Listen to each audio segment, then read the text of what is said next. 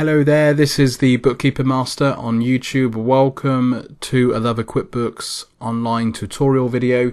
In this video, this free tutorial, I'm going to show you how to use the mileage feature, how to track mileage on QuickBooks Online. So let's go to the mileage feature. There should be a link in this left hand sidebar. So here we go, mileage, and I'll click on that.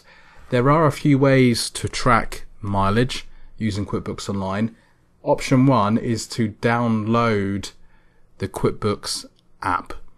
And on the app, it's quite self explanatory, but on the app, you can then track when you're driving your car for the business, and that will track mileage for you. That option obviously streamlines the mileage tracking process and automates the postings to QuickBooks Online. Option two is to add the mileage manually, which I'll be going through in this video. Option three is actually to keep like a CSV file of your mileage and then import that into QuickBooks Online. I'll be covering all three options very briefly in this video but I'll mainly be showing you how to use the, the mileage feature and how to add the mileage manually.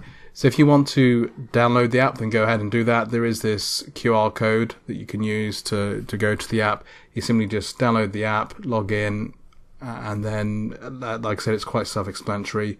It will post the mileage for you as you do mileage. And it works pretty well. I have clients that use the app and it uh, they don't seem to have any issues with it at all. So that's quite a good option.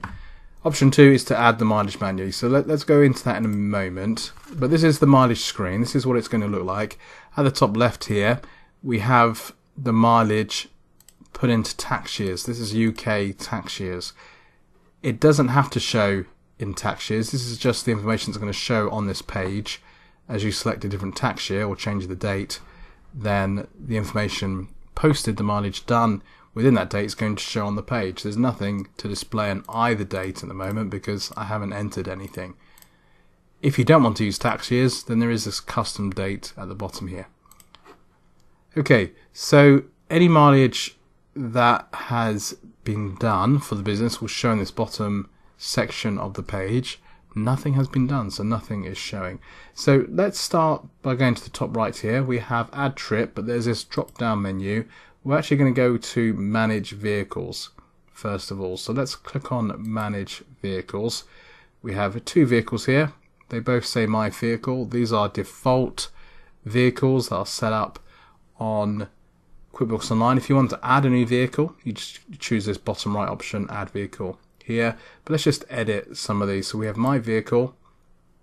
So it's this tax year 2023. Is it a car, a motorcycle, or a bicycle? Let's just choose a car. With the vehicle, make, and model. Unfortunately, I don't have a Ferrari or Porsche or Maserati.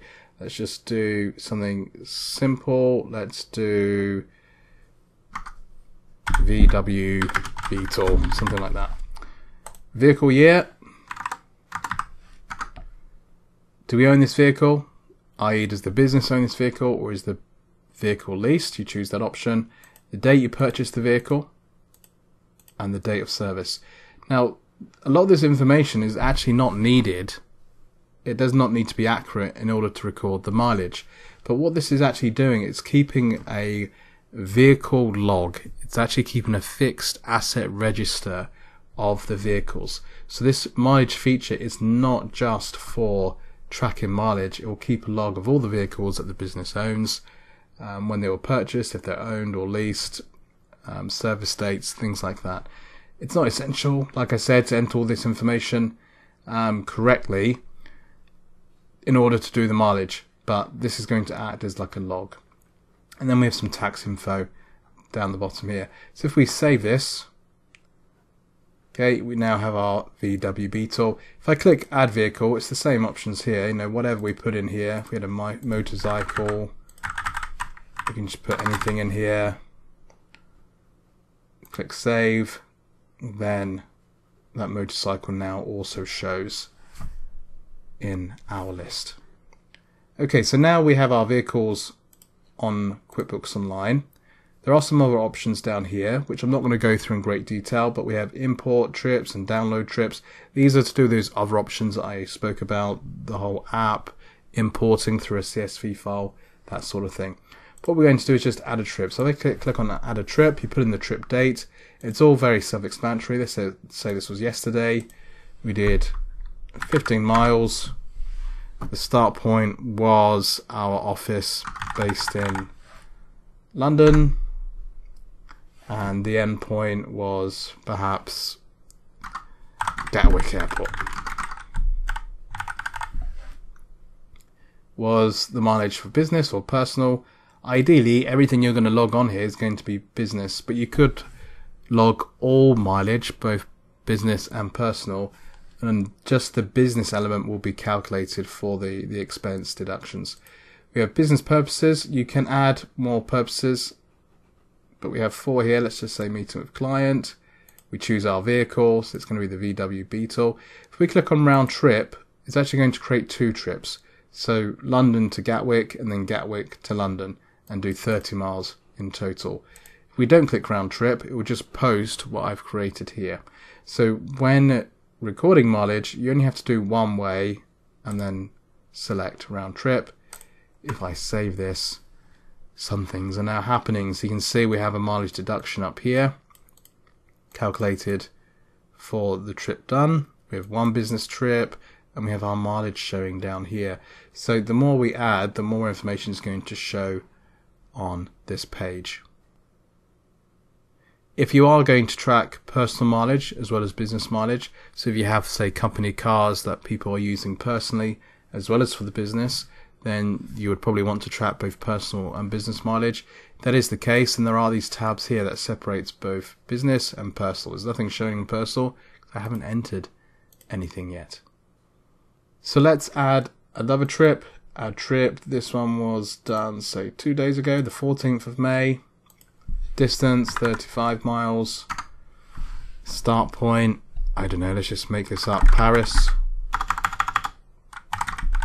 to somewhere else in France. This is a business trip. Business purpose, meeting with client, ride share, picking up goods, delivery, drop off.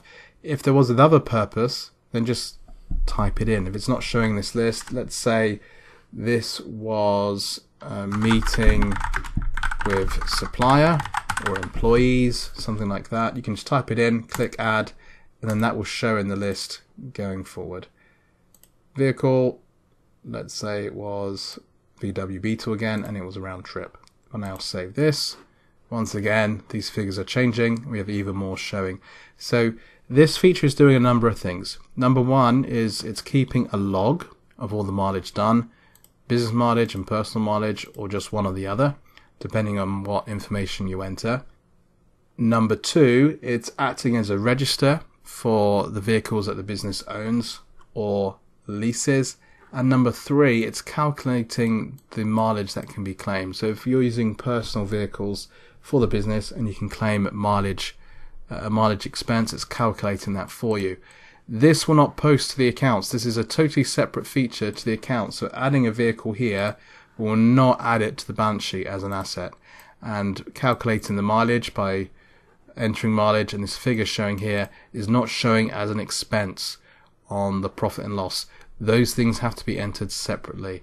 So it could be that you do your custom date for May once all of May has been recorded, all the mileage has been logged onto QuickBooks. You see the deduction, you can then just journal that in to the accounts, and then all the mileage is entered for June, and you can journal that in to QuickBooks for June.